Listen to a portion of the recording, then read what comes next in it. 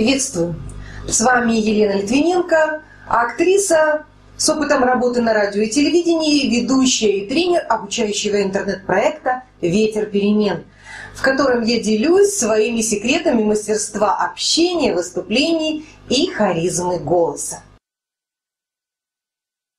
Мы уже с вами затронули тему харизмы, и в прошлом своем видео я говорила о том, что любые внешние проявления харизматических людей, они всегда основаны на каких-то убеждениях и свойствах мышления. По мнению одного из психологов, за харизмой всегда кроется какая-то идея, которую человек воплощает на протяжении своей жизни.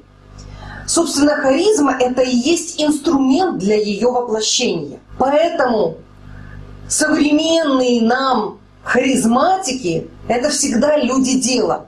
Среди них, естественно, много а, различного рода лидеров и руководителей, в том числе успешных руководителей предприятий.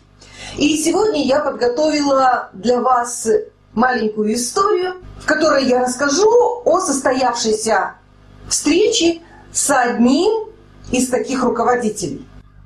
Как пример – и если помните, я упомянула о том, что харизма может произрастать на уже имеющихся неких зернах, предпосылках, которые есть у человека. Оливия Фокс Кабайн пишет, что в человеке обязательно должны присутствовать сила и теплота. Сила имеется в виду, естественно, что сила характера, сила духа. И теплота, естественно, что интерес к людям, теплота душевная, эмпатия, умение сочувствовать и сопереживать вместе с людьми. Естественно, что оба эти качества, они не могут быть врожденными. Они закладываются в человеке еще в юности, а может быть даже в детстве.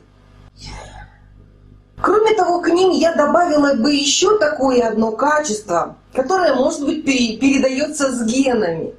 Это личное обаяние. Это не именно красота какая-то внешняя, но какая-то притягательность. Вот то, что воспевают поэты, да?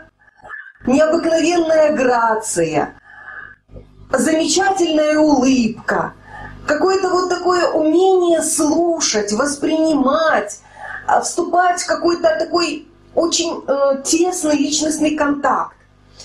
И вот это личное обаяние, оно может быть совершенно различное. От жизнерадостности какой-то, легкости, подвижности э, до совершенно противоположных, например, характеристик. Томности, загадочности. Тем не менее, это людей притягивает. Вот если у вас есть эти зерна, возможно, жизнь вас, как говорится, била, и вы воспитали в себе эту силу духа, силу характера, вы целеустремленный человек, который может достигать э, различных целей. А возможно, у вас также есть теплота и личное обаяние, и это те самые зерна, которые позволяют вам при небольшом усилии стать харизматичной личностью. Так вот, теперь я хотела бы перейти, собственно, к истории. Однажды, как принято говорить в историях, в ходе подготовки одного крупного творческого мероприятия а, было решено привлечь к нему спонсоров. И, естественно, я как один из членов оргкомитета должна была пойти и наладить связи с некоторыми организациями, точнее руководителями организаций, и предложить им стать нашими спонсорами. И я договорилась о такой встрече. Когда я пришла, меня встретила очень интересная, миловидная, улыбчивая дама.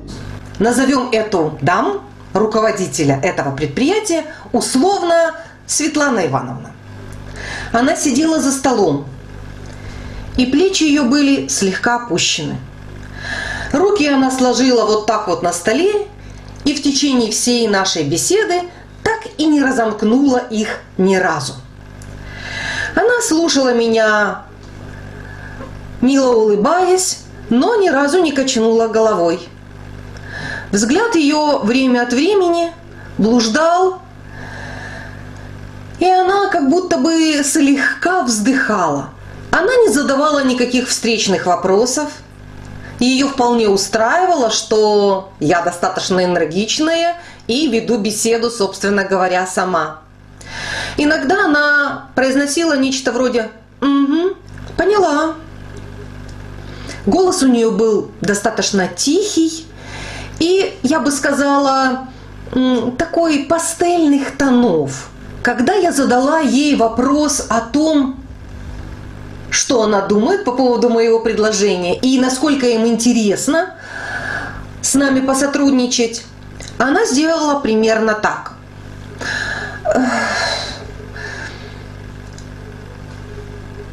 Естественно, что это было прочитано как подтекст – ну, не знаю, может быть, э, надо подумать.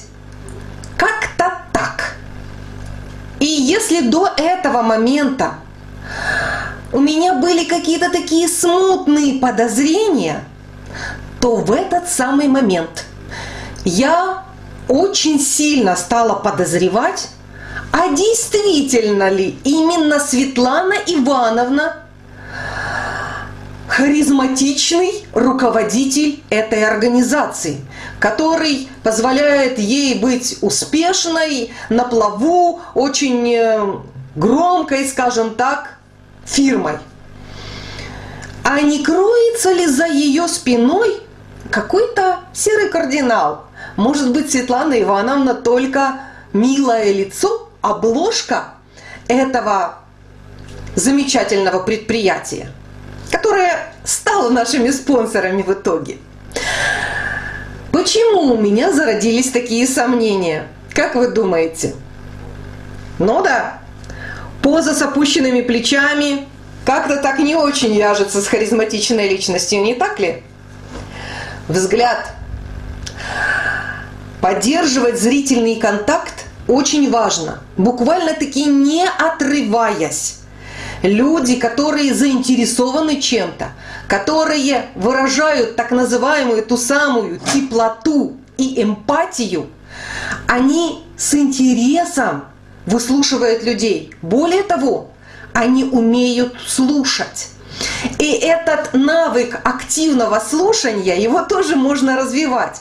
То есть, как правило, люди, которые слушают активно, они какие-то вопросы поясняющие, задают, кивают головой, какими-то небольшими, может быть, словами дают понять, что да-да, ага, все понятно.